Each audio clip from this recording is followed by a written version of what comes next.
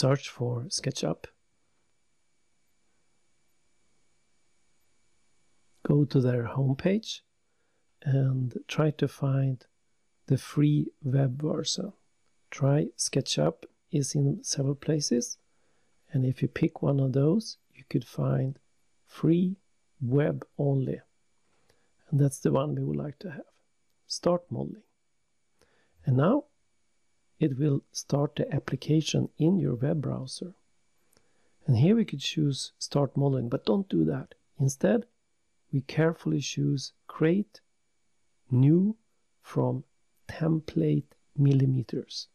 And then we have the units millimeters by shore. And now we're in 3D.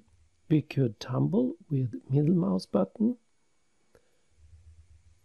and we could zoom in and out where the cursor is with the mouse wheel. So you could position your cursor and zoom in and you could see that you could kind of move. I prefer shift instead. Hold down shift button together with middle mouse button and then you could pan. Shift middle mouse button. But zooming in and out with just the mouse wheel works very good as well. Let's position ourselves on a map. So let's go for the main menu and go for add location. And now we will see something that looks like Google Maps. And we could go wherever we like globally, but we will just zoom in here and take a region around the street here. So we go for select region and make it a little bit smaller. So this will be the size of the map that we will copy into our environment. Click import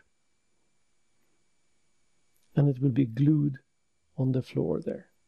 And now it's easy to understand that it's much, much more simple to position our new objects accordingly to the a street, for instance.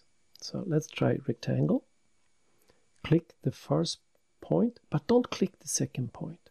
Instead, down in the right corner, you see values changing, and we could key in values here directly. So let's choose 6 meters, comma, 2 meters. And now we will have, and enter, of course. And now we will have a very accurate rectangle there.